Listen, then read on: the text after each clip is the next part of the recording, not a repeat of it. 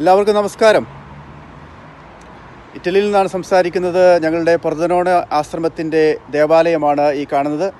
രാവിലെ കുർബാനയുണ്ടായിരുന്നു കുർബാനയെ കഴിഞ്ഞ് ആൾക്കാരൊക്കെ പോയി കഴിഞ്ഞപ്പോൾ ഇങ്ങ് പുറത്തേക്ക് ഇറങ്ങിയതാണ്. പ്രത്യേകം ഇന്ന് ഓർത്ത് പ്രാർത്ഥിച്ചു. നാളെയാണ് വിവാഹവാർഷികമെങ്കിലും ഇന്ന് അതായത് ഇന്നാണ് ചൊവ്വാഴ്ചയാണ് ഞാനിപ്പോൾ ഈ വീഡിയോ ചെയ്യുന്നത്.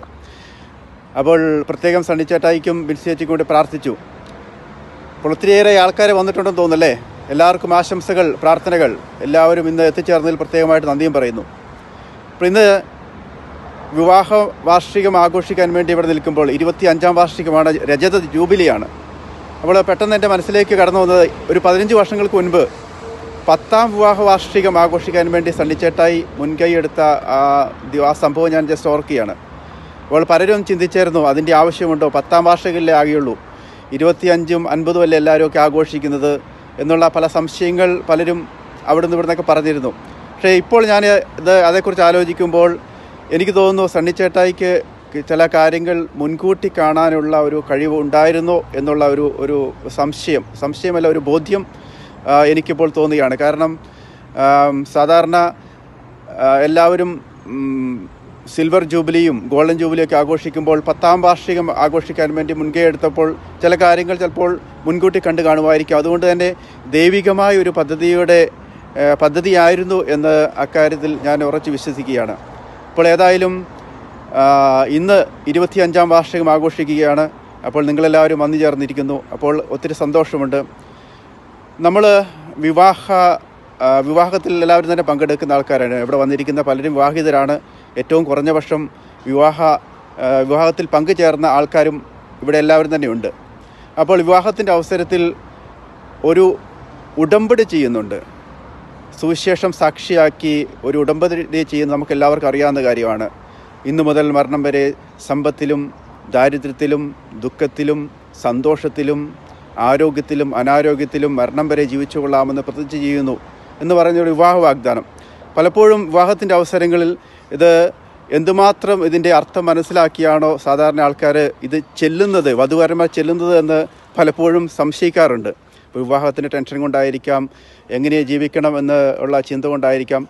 അങ്ങനെ പലപ്പോഴും ആ സംശയം മുൻപിൽ വരാറുണ്ട്. പക്ഷേ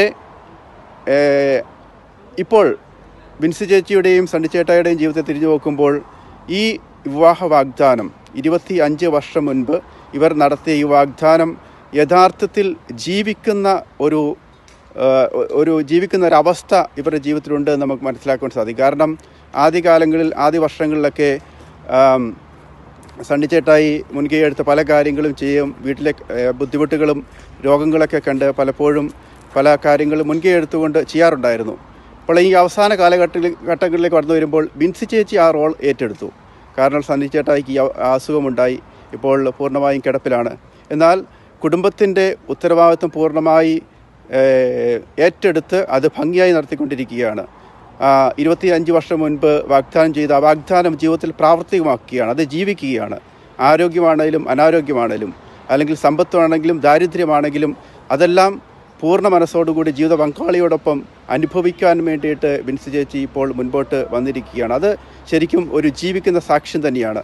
നമുക്കെല്ലാവർക്കും ജീവിതത്തിൽ പ്രാവർത്തികമാക്കുവാനുള്ള വലിയ ഒരു ഉത്തരവാദിത്തമാണ് നമ്മൾ ഇവരുടെ ജീവിതത്തിൽ കാണുന്നത്. അതുകൊണ്ട് തന്നെ ഇവർക്ക് വേണ്ടി നമുക്ക് പ്രത്യേകം പ്രാർത്ഥിക്കാം. ഇത് നമ്മുടെ ജീവിതത്തിൽ ഒരു ഒരു മാതൃകയാകട്ടെ എന്ന് ആശംസിക്കുകയാണ്. ഒത്തിരി ദീർഘിപ്പിക്കുന്നില്ല. കാരണം നിങ്ങൾക്ക് ഭക്ഷണം കഴിക്കാനുണ്ട് അല്ലെങ്കിൽ കഴിച്ചുകൊണ്ടിരിക്കുകയായിരിക്കാം.